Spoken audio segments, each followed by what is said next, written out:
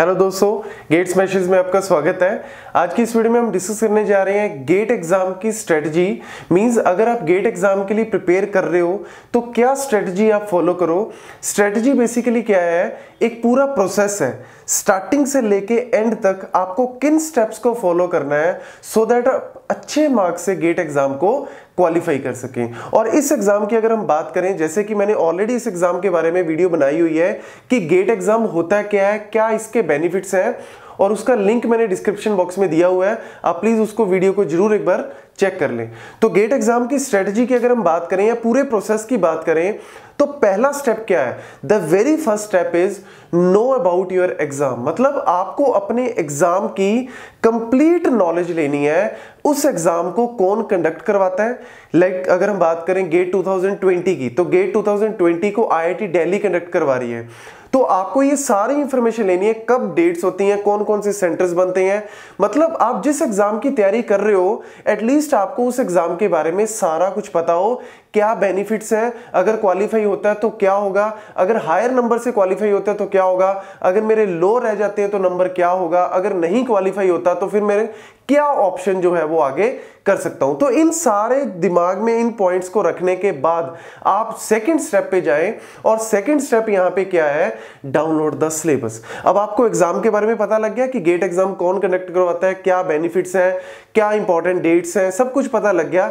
अब आपको second step क्या करना है? सिलेबस को डाउनलोड करो और उसको जहाँ पे आप पढ़ने बैठोगे, वहाँ पे आप उसको अपने स्टडी टेबल के पास, वहाँ पे रख लो और उसको चिपका ही दो। बेसिकली आप क्या करो, उसको चिपका दो और साथ ही साथ मार्कर के साथ मतलब आप हाइलाइटर के साथ उसको क्या कर सकते हो कि जो जो टॉपिक्स आप कवर करते जा रहे हो, वहाँ पे उसको हाईलाइट करते रहो। ये एक बेसिक पॉइंट्स है। ऑलरेडी आपको पता ही होंगे इन पॉइंट्स को। लेकिन क्या होता है कि इन पॉइंट्स को लाइक अगर मैं अपने एक्सपीरियंस से बात करूँ तो मैंने इनको फॉलो किया है। तो इसीलिए मैं आपको बता रहा हूँ ताकि इन पॉइंट से आपको एक एक्स्ट्रा एड ऑन बेनिफिट मिले। मतलब आप तैयारी कर रहे हो हार्डवर्क कर रहे हो, लेकिन उसके साथ साथ स्मार्ट वर्क अगर आप करोगे तो आपको बेनिफिट जो है वो डबल हो जाएगा। और इसके साथ साथ वेटेज हर एक सब्जेक्ट की क्या वेटेज है? मतलब यूनिट वाइज अगर हम बात करें 10 यूनिट है तो 10 यूनिट में से किस सब्जेक्ट की क्या वेटेज है? लेट से अगर हम गेट की बात करें तो गेट में हमें पता है कि 15 नंबर का एप्टीट्यूड आना है। 15 नंबर का अप्रोक्सीमेट मैथमेटिक्स आना है। तो 30 नंबर तो ये हो गए। तो 70 मार्क्स जो है, वो बाकी का पूरा आपका कोर सब्जेक्ट जो आते हैं, वो आएँगे। अब उनमें किन की वेटेज सबसे ज़्यादा है, किन की वेटेज सबसे कम है? सो so दैट आप उसके अकॉर्डिंग अपनी प्रायोरिटी सेट कर सकते हैं। और किसको कितना टाइम देना वो भी सेट कर सकते हैं, क्योंकि सिलेबस अगर आपके सामने होगा तो आपको पता लगेगा कि किसमें कंटेंट ज़्यादा है, कहाँ पे मुझे बहुत ज़्यादा फोकस करना है, कहाँ पे मैं कम फोकस में भी काम मेरा चल सकता है। तो ये सारे पॉइंट जो है आप अपने माइंड में सेकेंड स्टेप में रखें। थर्ड पॉइंट यहाँ पे आता है कलेक्ट द रिसोर्सेज मतलब अब आपको प्रिपरेशन स्टार्ट करनी है तो वो कैसे स्टार्ट करनी है? स्टैंडर्ड बुक्स आप लेके आए। स्टैंडर्ड बुक्स से अगर आप प्रिपेयर कर रहे हैं तो वेल एंड गुड है। अगर आप कोचिंग नहीं ले रहे तो मैं उन पॉइंट्स की बात कर रहा हूँ। अगर आप कोचिंग ले रहे हैं तब तो ऑब्वियसली आपको पता है कोचिंग में आपकी डेली बेसिस पे क्लास चल रही है तो उन्हीं पॉइंट्स को आप फॉलो करें, वहाँ से आप नोट्स बनाएँ। नोट्स बनाने बहुत ही इंपॉर्टेंट है, क्योंकि गेट एग्ज़ाम में बेसिकली कॉन्सेप्ट बेस्ड क्वेश्चन है न्यूमेरिकल बेस्ड क्वेश्चन है तो आपको कहीं ना कहीं काफ़ी चीज़ें जो है वो दिमाग में रखनी पड़ती हैं। तो बेटर है कि आप वहाँ पे क्या बनाएँ? नोट्स बनाएँ। नोट्स बनाने से आपको बहुत ज़्यादा बेनिफिट होगा। और इसके साथ साथ अगर हम बात करें, आपको ऑनलाइन ऑफलाइन मटेरियल जो है बहुत सारा अवेलेबल है यूट्यूब पे मटेरियल अवेलेबल है, वहाँ से पढ़ना स्टार्ट करें। और अगर हम बात करें, काफ़ी स्टूडेंट्स की क्वेरी आती है कि क्या सर हम किसी पर्टिकुलर कोचिंग सेंटर का मटेरियल मंगवाएँ? तो भैया मटेरियल की मैं आपको सीधी सी कहानी बता देता हूँ कि मटेरियल में जनरली क्या होता है कि एक तो होती है टेक्स्ट बुक काइंड ऑफ़ मतलब उसमें क्या होता है कि शॉर्ट फॉर्म में समराइज करके सारे टॉपिक्स मेंशन किए होते हैं और थोड़ी थोड़ी उसके बारे में थ्योरी लिखी होती है। और दूसरी होती है उसके साथ टेस्ट वाली जो मॉक टेस्ट वाली जो टेस्ट टेक्स्ट बुकलेट्स होती हैं। अगर हम बात करें, ये जो मटेरियल है, इस मटेरियल से आपको एक ही बेनिफिट है, उससे आपको पता लगेगा कि क्या टॉपिक इंपॉर्टेंट है और किसको हम कम वेटेज मतलब किसको हम थोड़ी कम प्रायोरिटी रख सकते हैं। तो इंपॉर्टेंट टॉपिक्स जो है, आपको बहुत सारा फ्री मटेरियल अवेलेबल है। यूट्यूब पे भी आप उनको फॉलो कर सकते हैं। लाइक मैंने भी बहुत सारे सब्जेक्ट्स के ऊपर कंप्यूटर साइंस की अगर हम बात करें, वहाँ पे बनाई हुई है। उससे आपको बेनिफिट मिलेगा कि कौन से सब्जेक्ट इंपॉर्टेंट है, क्या उनमें इंपॉर्टेंट टॉपिक है। वो एक बेनिफिट बेनिफिट है। तो वहाँ वहाँ पे अगर आप वो नहीं भी लेते, तब भी आपका काम चलेगा। लेकिन जो दूसरा मटेरियल आता है that is the text booklet मतलब वहाँ पे टेस्ट जो है, वो अवेलेबल है। उन टेस्ट बुकलेट्स का डेफिनेटली आपको बेनिफिट होगा। लेकिन नया मटेरियल खरीदने की बजाय ना, मैं अपने एक्सपीरियंस से आपको बोलूँ तो आप सेकंड हैंड मटेरियल भी बहुत जगह अवेलेबल है। लाइक दिल्ली की अगर बात करें तो न्यू दिल्ली में कोचिंग सेंटर्स जहाँ पे होते हैं, वहाँ पे आपको सेकंड हैंड मटेरियल मिल जाएगा। और वहाँ पे आपको एक और बेनिफिट है। उन टेस्ट बुकलेट्स के ऊपर ना जहाँ पे सारे टेस्ट होते हैं, आपको आंसर्स और कुछ ना कुछ हिंट जो है, वो पुराने बंदों ने दिए होते हैं। तो उससे भी आपको एक बेनिफिट मिल जाएगा, क्योंकि इतना ज़्यादा चेंज नहीं होता हर साल। तो आप उनको फॉलो करें, ताकि आपके पैसे भी कम लगे। और मटेरियल की बात करें तो टेक्स्ट वाला मटेरियल की कोई बेनिफिट नहीं है। हाँ टेस्ट वाला जो है, वो टेस्ट से आपको बुकलेट से जो फ़ायदा होगा, ताकि आप बुक्स पे या जहाँ से भी आप थ्योरी पढ़ रहे हो तो उस थ्योरी से रिलेटेड क्वेश्चंस लगाने के लिए आपके पास एक टेस्ट बुकलेट है तो टेस्ट से आप जो है वो फ़ायदा आपको मिलेगा। क्योंकि थ्योरी पढ़ने के बाद भी अगर आप क्वेश्चन सॉल्व कर पा रहे हो या नहीं, ये कोई गारंटी नहीं है। क्योंकि थ्योरी में तो हमें सारे एस्पेक्ट जो है वो हम कवर नहीं कर पाते। जब हम उस थ्योरी के ऊपर क्वेश्चन करते हैं ना, और एक दो क्वेश्चन नहीं, कम से कम दस बीस क्वेश्चन करेंगे ना एक टॉपिक के ऊपर, तब हमें पता लगता है कि उस टॉपिक को कैसे एप्लीकेबल करना है, कैसे यूज़ करना है। और वो तभी पता लगेगा जब आप उसके ऊपर दस बीस क्वेश्चन करोगे कम से कम। तो ये जो है, ये बेनिफिट्स आपको देंगे अगर आप प्रॉपरली रिसोर्सिस को वहाँ पे मेंटेन करोगे। देन आते हैं हम फोर्थ स्टेप के ऊपर। फोर्थ स्टेप है प्लान बनाना। है अब आपको जो है प्रॉपर स्ट्रेटेजी स्ट्रेटेजी प्लान का मतलब क्या है? पहले बात तो रूटीन गेट एग्ज़ाम अगर क्वालिफाई करना है तो मैंने पहले भी कोचिंग वाली वीडियो बनाई है कि क्या कोचिंग रिक्वायर्ड है नहीं, उसमें भी मैंने यही पॉइंट बोला था कि आपको जो है वो डेली बेसिस पे आपको टाइम डिवोट करना पड़ेगा, क्योंकि जो लोग कोचिंग कर रहे हैं, वो तो ऑब्वियसली वहाँ पे टाइम डिवोट कर ही रहे हैं कोचिंग में जाके पढ़ रहे हैं। लेकिन अगर वो घर पे जाके नहीं पढ़ रहे ना डेली बेसिस पे अगर टॉपिक कवर नहीं कर रहे तो फ़ायदा उनको भी नहीं होगा। तो आप अगर बिना कोचिंग पढ़ रहे हैं तो आपको उनसे डबल एफर्ट देनी पड़ेगी, क्योंकि आप पहले अपने एंड पे खुद पढ़ रहे हैं सारा मटेरियल और साथ ही साथ उसको टेस्ट जो है, उसके ऊपर जो क्वेश्चंस है, वो भी आप खुद ही लगाने पड़ेंगे। तो डेली बेसिस पे आपको टाइम डिवोट करना पड़ेगा। अगर आप डेली बेसिस पे दे सकते हैं तो at least four to five hours दें और जितना जल्दी हो सके अपनी प्रिपरेशन स्टार्ट करें। मतलब थर्ड ईयर में अगर आप स्टार्ट कर रहे हैं तो थ्री फोर आवर्स जो है, वो मोर देन इनफ है। फोर्थ ईयर में भी अगर आप स्टार्ट कर रहे हैं तो at least five to six hours कम से कम आप दें। और जो लोग जॉब कर रहे हैं, उनके लिए तो फिर टाइम कहाँ पे बचता है? वीकेंड्स पे। तो वीकेंड्स पे आप जो है, वो ज़्यादा से ज़्यादा टाइम स्पेंड करें।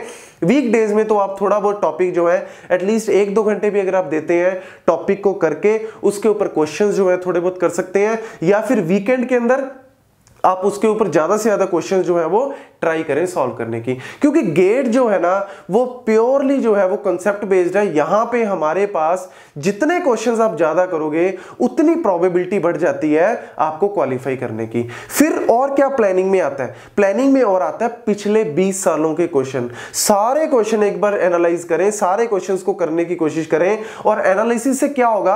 आपको पता लगेगा कि क्या टॉपिक इंपॉर्टेंट है, किसको आपको ज़्यादा प्रायोरिटी देनी है किसको आप कम भी दे सकते हो? ये आपको लास्ट ट्वेंटी ईयर्स के क्वेश्चन से पता लगेगा। लाइक अगर जैसे इस बार आईआईटी दिल्ली करवा रही है तो आईआईटी दिल्ली ने पहले कब करवाया? ये भी आप पता करो। उसके ऊपर क्या क्वेश्चन आए? कई बार ये भी होता है कि उन्होंने अगर जिस पर्टिकुलर टॉपिक के ऊपर ज़्यादा फोकस किया देर इज़ अ प्रोबेबिलिटी कि इस बार फिर उसी टॉपिक के ऊपर ज़्यादा आ जाए। ये कोई गारंटेड नहीं है बट कई बार क्या होता है, ये चीज़ें एनालाइज करने से ना आपको बेनिफिट यहाँ पे मिल जाएगा। तो इन पॉइंट्स को अगर आप फॉलो करते हैं तो आपको डेफिनेटली रूटीन बनाना जो है वो बहुत ही इंपॉर्टेंट है टेस्ट सीरीज़ टेस्ट सीरीज़ जो है, वो डेली बेसिस पे आपको टेस्ट जो है, वो देने बहुत ही ज़रूरी है, क्योंकि जितने आप क्वेश्चंस करेंगे, तभी आपको गेट एग्ज़ाम में बेनिफिट मिलेगा, तभी आपकी प्रोबेबिलिटी जो है, वो बढ़ जाएगी। टेस्ट सीरीज़ क्या होती है? टेस्ट सीरीज़ से ना, हम अपने आप को इवेल्युएट कर रहे हैं। और कई कोचिंग सेंटर्स की ऐसी टेस्ट सीरीज़ है, इतने अच्छे लेवल की टेस्ट सीरीज़ है, कि अगर आप उनको करते हो ना जितना रैंक आप उसमें ला रहे हो, जितने मार्क्स आप उसमें ला रहे हो ना तो दो चार नंबर का ही ऊपर नीचे होता है गेट एग्ज़ाम के अंदर। अगर आप उसी तरीके से एग्ज़ाम देते हो गेट का। तो यानी इतना फ़ायदा होता है हमें टेस्ट सीरीज़ से, आपको एक कॉन्फिडेंस बन जाएगा, आपके अंदर कॉन्फिडेंस आएगा कि यार मैं इतने मार्क्स तो ले आया, अब मेरे को और बढ़ाने हैं। और जितने भी लोग कोचिंग कर रहे हैं कोचिंग नहीं कर रहे, एक अपना टारगेट जो है वो बढ़ाते जाएँ। जैसे अगर आप अभी जैसे अगस्त आएगा तो अगस्त तक आपने जो भी टॉपिक कवर किए टेस्ट सीरीज़ दो टेस्ट से आपको पता लगेगा कि आप कहाँ पे खड़े हो। अब आपको टारगेट देना कि हाँ ठीक है, अब मैं हंड्रेड में से फोर्टी प्लस लाऊँगा। फिर आप और ज़्यादा तैयारी करोगे सितंबर अक्टूबर तक जाते जाते आपको लगेगा कि अब मैं 50 तक ले आऊँगा। फिर नवंबर, दिसंबर तक जाके आपको लगेगा कि हाँ मैं 60 प्लस ला सकता हूँ। ये जो छोटे छोटे टारगेट्स है ना, इन छोटे छोटे टारगेट्स को फॉलो करोगे तो बड़ा टारगेट आपको ईजिली क्योंकि डेली बेसिस पे आप टारगेट फॉलो कर रहे हो। बेसिक डेली बेसिस पे आप क्वेश्चन को सॉल्व कर रहे हो तो आपको लगेगा कि हाँ यार, ये भी तो मैं टारगेट फॉलो कर ही रहा हूँ ना रोज। रोज की रोज अगर मैं टारगेट अचीव कर रहा हूँ तो आपको ऐसे लगेगा ही नहीं कि गेट भी एक बड़ा टारगेट है। आप गेट का एग्ज़ाम भी इजीली दो और यहाँ पे लास्ट स्टेप में सेकंड लास्ट स्टेप में अगर हम बात करें रिवीजन गेट एग्ज़ाम में रिवीजन जो है वो सबसे इंपॉर्टेंट है बैकबोन है। मतलब आप पढ़ते जा रहे हो टेस्ट लगाते जा रहे हो और एक दो महीने बाद आपने जब उस सब्जेक्ट को दोबारा देखा तो हो सकता है कि आप फिर भूल जाओ। और ये बहुत सारे स्टूडेंट्स का क्वेश्चन आता है कि मैं भूल जाता हूँ। जैसे एग्ज़ाम आता है, मैं तब भूल जाती हूँ या भूल जाता हूँ कि क्या, कैसे अप्लाई करना है। तो ये क्यों होता है? क्योंकि आपने प्रॉपरली रिविजन नहीं की। रिविजन करो शॉर्ट नोट्स बनाओ। जो आपने लेंथी नोट्स ऑलरेडी बना रखे हैं। अब आप शॉर्ट नोट्स बनाओ दो दो चार चार पेजों के हर एक पर्टिकुलर यूनिट के, ताकि आप गेट एग्ज़ाम से पहले उन शॉर्ट नोट्स में इंपॉर्टेंट फॉर्मूलाज इंपॉर्टेंट पॉइंट सब पढ़ के एग्ज़ाम देने जाओ। आपको पूरा का पूरा जो टॉपिक है ना, वो रिकॉल हो जाएगा। पूरा का पूरा टॉपिक रिकॉल होने से आपको एक कॉन्फिडेंस दोबारा फिर बनेगा। अब अगर हम बात करें लास्ट स्टेप की लास्ट स्टेप है रिवीजन आप कर ली, आप मॉक टेस्ट दे दिए, आपने बहुत सारे एग्ज़ाम्स जो है उससे पहले ही दे दिए तो आपका कहीं ना कहीं फियर फैक्टर जो है, वो पैनिक जो है आप अब नहीं होगे। लेकिन फिर भी स्टूडेंट्स जो है, कई बार हो जाते हैं, एक दो क्वेश्चन सॉल्व नहीं हुए, और डर जाते हैं। ये एग्ज़ाम से पहले ही उनको घबराहट होने लग जाती है। ऐसा बिल्कुल नहीं करें, क्योंकि ऐसा नहीं कि गेट एग्ज़ाम होगा तो ही आपकी ज़िंदगी है। गेट एग्ज़ाम नहीं भी होगा, तब भी बहुत सारे मौके हैं, बहुत सारी अपॉर्चुनिटीज़ हैं। तो एक बहुत ही फीलिंग से मतलब लाइट वेट फीलिंग से जाएँ, दिमाग में आपने ऑलरेडी प्रिपरेशन कर रखी है। एग्ज़ाम के अंदर अब आपको क्या करना है? एक तो पहली बात, बिल्कुल भी पैनिक नहीं होना। कॉन्फिडेंस के साथ एग्ज़ाम को देना स्टार्ट करें और स्पेशली एप्टीट्यूड वाला जो पोर्शन है ना, पंद्रह नंबर का, उसको कोशिश करें कि पहले पे सॉल्व कर लें। उसमें आप 20-25 मिनट से ज़्यादा टाइम ना लगाएँ, क्योंकि अगर आप पहले कॉन्सेप्ट बेस्ड अपने जो कोर सब्जेक्ट है आपके, उसके क्वेश्चन करोगे ना तो उनमें टाइम लगेगा। और बाद में एंड पे आप सोचोगे, अरे यार, मेरे पास तो अभी एप्टीट्यूड वाले क्वेश्चन भी पड़े हैं, पंद्रह नंबर का वो भी अटेम्प्ट करने का पड़ा है। तो वहाँ पर हो सकता है आप गलत कर लो, क्योंकि दो तीन साल से ना एप्टीट्यूड वाला जो कॉन्सेप्ट है ना एप्टीट्यूड वाले जो क्वेश्चन है ईजी लेवल के ही आ रहे हैं। आप इजीली उनको सॉल्व कर सकते हो। तो स्टार्टिंग में अगर आप उनको करते हो तो आपका माइंड वहाँ पे बिल्कुल फ्रेश भी होता है और फटाफट आप उनको सॉल्व करोगे तो आपको वहाँ पे एक कॉन्फिडेंस बन जाएगा कि हाँ यार, पंद्रह में से मैं दस, बारह नंबर तो मैंने ऑलरेडी अचीव कर लिए। अब आप फिर उसके बाद जब आप मैथमेटिक्स या फिर अपने कोर सब्जेक्ट्स पे जाओगे तो आपको कहीं ना कहीं कॉन्फिडेंस बिल्ड होता जाएगा। रैंडमली मत जाओ कि कभी वन के बाद टेन पे चले गए, इधर उधर नहीं। एक तरह सीरीज़ में क्वेश्चंस को करते जाओ और टाइम मैनेजमेंट बहुत ही इंपॉर्टेंट है। गेट में सबसे जो ज़्यादा वैल्यू है अटेम्पटेशन के टाइम पे वो है टाइम टाइम को प्रॉपरली मैनेज करके रखें. क्वालिटी पे जाना है यहाँ पे क्वांटिटी पे नहीं जाना कि सारे क्वेश्चंस को करने की कोशिश कर रहे हैं। नहीं, आप क्वालिटी पे जाओ, जितने ज़्यादा क्वेश्चंस को करेक्ट करते जा रहे हो, उतना ही आपका टारगेट अचीव होता जाएगा। 40 फिर 50 फिर 60 70 तक आ रहे हो तो डेफिनेटली आपका जो टारगेट आप बना रखा है, आपको बेस्ट चीज़ जो है वो अवेलेबल होगी बेस्ट चीज़ आपको मिलेगी। तो टाइम मैनेजमेंट बहुत इंपॉर्टेंट है और रिव्यू करना।